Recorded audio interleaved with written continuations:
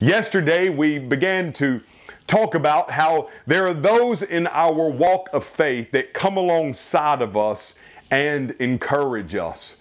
I told you yesterday about a friend of mine, Howard Ellis, who stood there for me and, and said, Zach, listen, no matter what happens, I'm gonna, I'm gonna stand in front of you. I'm gonna take the heat for you because I see God at work in your life. And I'm forever grateful for that individual.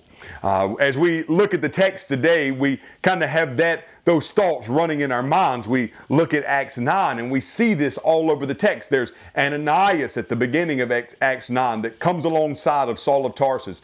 There are the disciples that lower him in a basket over the wall because the Jews are conspiring to kill him. There's Barnabas who puts his arm around Saul of Tarsus and says, Brother, I'm going to walk alongside of you. We, we have these individuals across Acts 9, and it, it kind of reminds me of something I saw not too long ago on television. Uh, I don't know how many of you like to watch the Discovery Channel, but uh, every year in the summertime, one of my favorite weeks of the year is Shark Week on the Discovery Channel. Been watching it since I was just a little boy. I love to watch those videos of the great white sharks and the tiger sharks and all these different things that are taking place. It's so much fun to watch. Well, a couple of years ago, I was watching Shark Week, and and and the the scientists, what they did was they took this this dolphin decoy. Now, I'm telling you, they made this dolphin just look absolutely real. It looked like a real dolphin.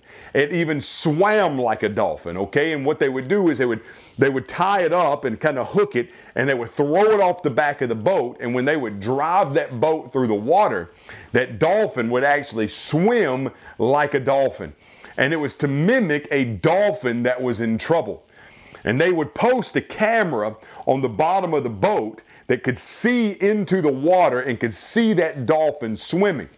And the idea was with that camera, they wanted to, to watch a shark swim up and attack the dolphin so they could catch a shark attack underwater on camera. And so I'm watching Shark Week and they throw this dolphin decoy in the water and, and, and, you immediately are looking at the camera, you're looking into the depths of the ocean and all you see is that dolphin just swimming along. And sure enough, they, they're, they're looking there in the water and they're showing the people on the boat with the fish finders and, and, and those things. And, and sure enough, wouldn't you know, that the, the guys on the boat, they said, look there at the fish finder, there's something coming. The camera angle goes beneath the boat. There you see that dolphin, that dolphin decoy coming through the water. And out of the depths, you see this shark swimming up.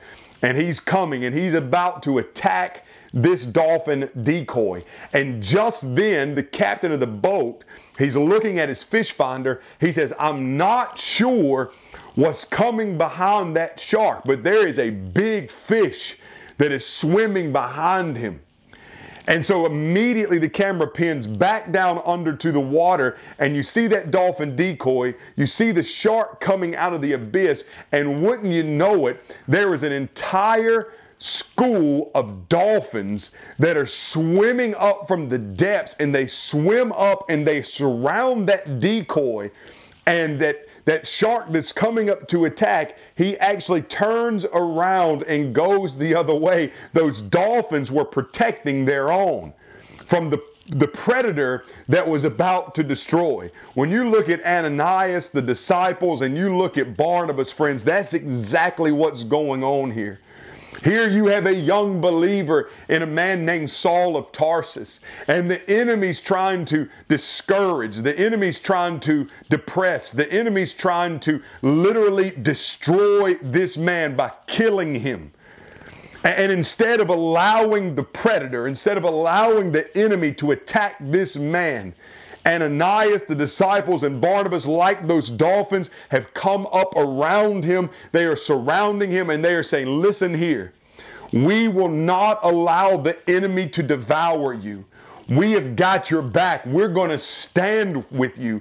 We're going to stand for you because we believe in God's work in your life. We know and we have seen evidence of the Holy Spirit at work. And that's what we see here in verse 26 through verse 31 in Acts chapter 9. when Saul arrived in Jerusalem, he tried to associate with the disciples, but they were afraid of him because they did not believe he was a disciple. They, they look at this, they see this, they know of the threats and the persecution that he had, that he had waged against the church, and they say, Man, we're not going to believe this guy. He's just trying to infiltrate our camp so that he can find out who the believers are so that he can kill us too. No way, we're not letting him in the door. And the Bible says Barnabas, don't you remember him? Just a few chapters earlier. This is Simeon or Simon the, the, the, the, the Levite from um, Acts, or Joseph the Levite from Acts chapter number four who sells his field and gives all the possessions to the early church. And it says that they called him Barnabas, the son of encouragement. And so now Barnabas, the one who is known as the encourager, the Bible says he took him and brought him to the apostles and explained to them how Saul had seen the Lord on the road and that he had talked to him and how he had and how in Damascus he had spoken boldly in the name of Jesus. I love that text because it says Barnabas went to the apostles with Saul. He had his arm around him as they walked in the door. And, and, and the Bible says he had talked to him. So Barnabas had heard that Saul of Tarsus had been converted.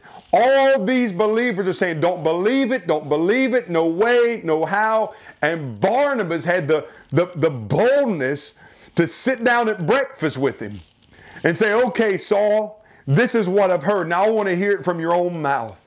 And Saul had told Barnabas what had happened with him, and now Barnabas is standing beside him and saying, Listen, I've talked with him. And I'm telling you, there is evidence of the Lord Jesus Christ in this man. He has been saved by the power of the gospel. And the Bible says after this happened that Saul was coming and going with them in Jerusalem and speaking boldly in the name of the Lord. So now those disciples that at first shunned him, those apostles who were weary of him, are wary of him, now they have heard the testimony of Saul. They've heard the testimony of Barnabas. They've seen the evidence in his life, and they say, Come on, brother, why don't you just get in here with us?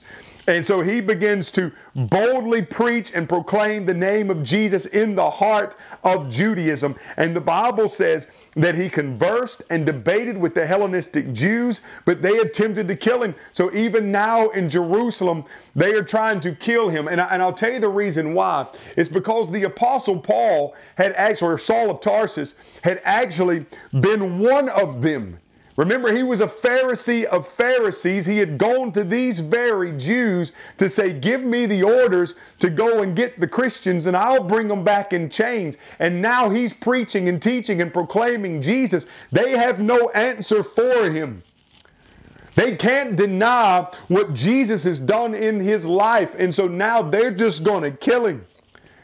And the Bible says when the brothers found out, they took him down to Caesarea and they sent him off to Tarsus. They said, Saul, it's not safe for you to be here. We're going to send you to a location where it's safe for you to be, where you can go and preach and teach openly without the threat of persecution and death. And the Bible says in verse 31 So the church throughout all Judea and Galilee and Samaria had peace, being built up and walking in the fear of the Lord and encouragement of the Holy Spirit and increased in numbers. Isn't it amazing? God's done an amazing work. He's taken the persecutor of the church and now He has saved him. And because of that, there's peace in the region and the gospel is flourishing. Numbers are increasing. Friends, this is something only God can do. And isn't it a beautiful story how they came alongside of the young Saul of Tarsus, didn't allow him to be devoured by the enemy, but said, Come on, brother, and walk with us. Friends, just like yesterday, I challenge you with that. I challenge you to be one of those who take those new believers under your arm and say, Let's go sit down and talk. I want to hear your testimony and I want to walk alongside of you. Friends, listen, may God bless you, and I look forward to seeing you next time on New Horizons.